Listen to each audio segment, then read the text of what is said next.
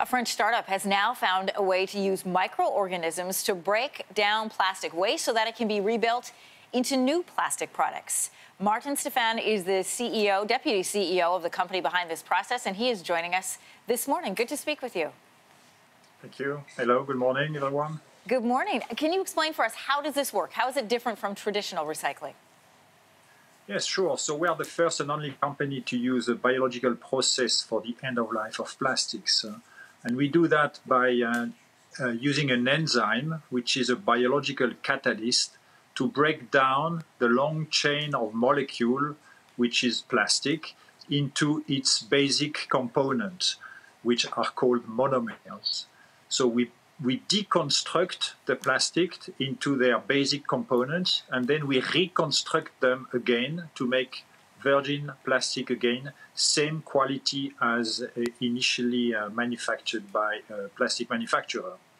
So unlike what happens now where it's broken down and then made into a lesser quality, this would be of, a, of an equal quality, which is fascinating. Uh, I'm thinking about the environmental implications. How valuable is this prospect? Well, we contribute to reducing the plastics pollution by giving value to waste which today have no or low value because we enable uh, a thing which is, um, let's say, a buzzword today, a circular economy. But we make it possible by using waste as a raw material instead of petrochemicals. So we really contribute to eliminate plastics pollution in the world, including the 9 million tons of plastics which are disposed in the ocean every year, which is not acceptable. You have several major commercial partners in this venture, and you'll soon be building your first demonstration plant that will be in France. Uh, when is your goal for this process to be up and running commercially?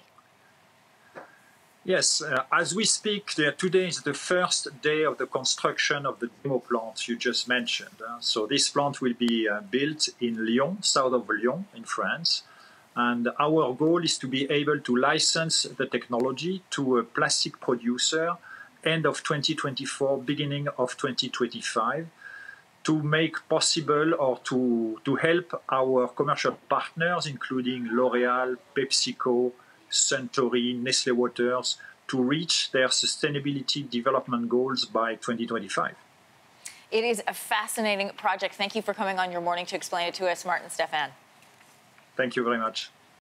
Thanks for watching. If you like this, be sure to subscribe here. And you can check out more Your Morning videos right here.